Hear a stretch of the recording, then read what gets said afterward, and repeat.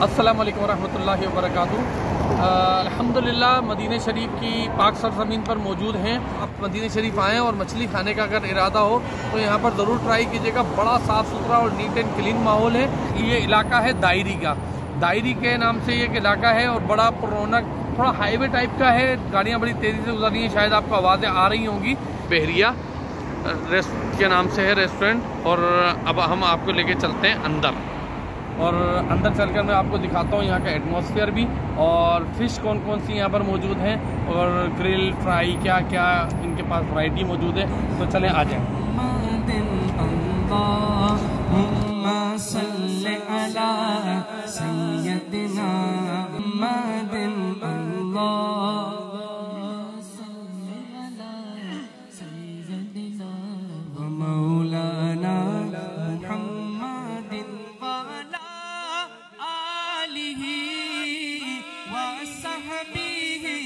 बारिक वसल्लिम अल्लाहुम्मा सल्लि अला कौन सी ये वाली? ये इसका क्या नाम है? और ये? ग्रिल के लिए ये बेस्ट है। ये? और ये, ये हमूर बोले।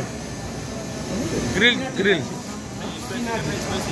स्पाइसी नहीं ज़्यादा स्पाइसी नहीं रखना यार।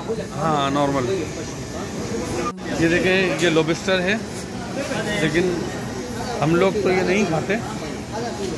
लेकिन मतलब हम लोगों से मुराद में नहीं खाता ये। और ये प्रॉन्स वगैरह इनका किचन है। आपको अंदर से नज़र आ रहा होगा, किचन भी बहुत साफ़ सुथरा है और बड़ा नीट एंड क्लीन माहौल है। ये मैं आपको किचन को थोड़ा जूम करके दिखाता हूँ। देखिए, ये लड़के अंदर काम कर रहे हैं, साफ़ सुथरा माहौल है। अल्लाहुम्मा सल्लि अला सय्यदिना मुहम्मद अल्लाह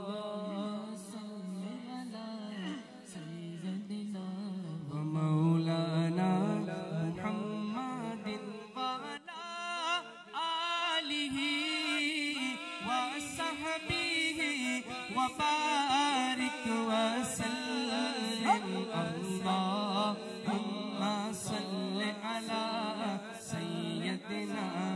मौलाना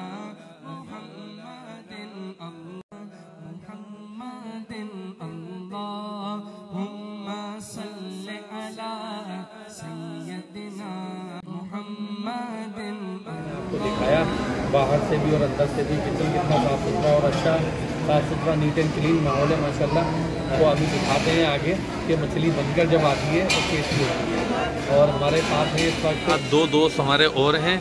ये आसिफ भाई हैं हमारे। मदीने शरीफ के मुकीम हैं माशाल्लाह यहाँ पर ही रहते हैं। और एक ये शमशेर हैं ये हमारे रफ़ी के सफ़र हैं।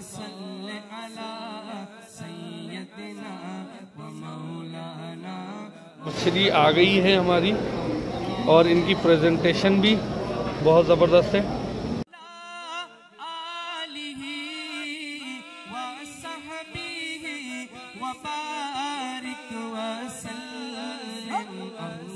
अल्लाहुम्मा सल्लि अला सय्यदिना व मौलाना मुहम्मदिन अल्लाहुम्मा मुहम्मदिन अल्लाह ये देखिए जी, ये शोरबा है।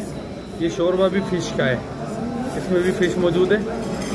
यानी कि फ़िश की यखनी है ये।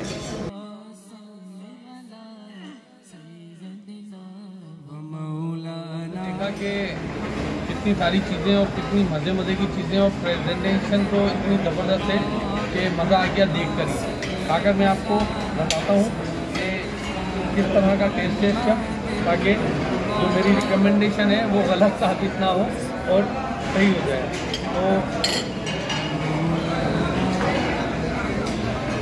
या खुब्स कॉफ़ी खुब्स खुब्स ज़बरदस्त है यार। वाकई बिल्कुल बेहतरीन रिकमेंडेशन दी दी? ज़बरदस्त है। ज़रूर ट्राई कीजिए।